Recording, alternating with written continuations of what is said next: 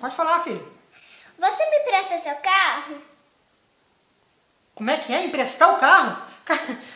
Pô, você tá de brincadeira só. Você não tem noção, carro, carro é um veículo, é coisa perigosa. Carro não é brinquedo não, meu filho. Eu sei que carro não é brinquedo, papai. É só pra eu dar uma voltinha. Lógico que não, meu filho. Carro, carro não é coisa para criança, não. Carro é um automóvel, é coisa perigosa, é coisa para adulto. Para ter um carro, você tem que tirar a carteira, fazer aula de direção, ser maior de 18 anos e etc. Um tanto mais de coisa. Eu sei, papai, mas eu não vou ir longe, não. Eu só vou dar uma voltinha. Filho, eu não posso te emprestar um carro. Você nem sabe dirigir.